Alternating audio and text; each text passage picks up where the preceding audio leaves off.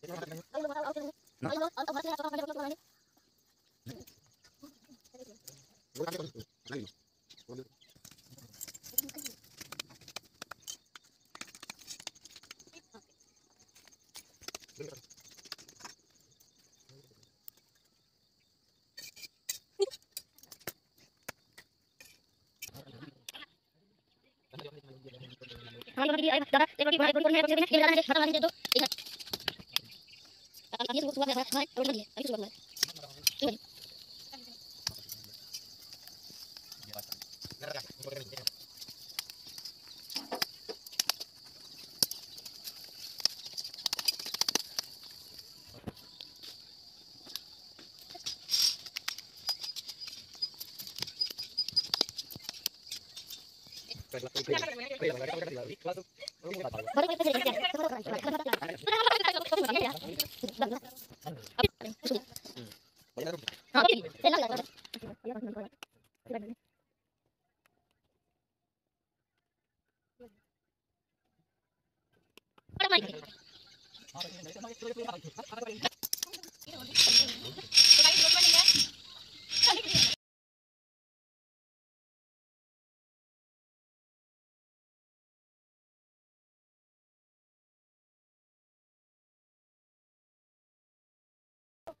ये अपना चोखा बन गया और ये हाथ की बढ़िया बनाई रोटी है ना?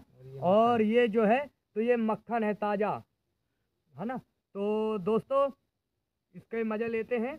और ऐसे ही वीडियो देखने के लिए हमारे चैनल को लाइक करें कमेंट करें शेयर करें सब्सक्राइब करें। मिलते हैं अगले नए ब्लॉग में तब तक के लिए नमस्कार।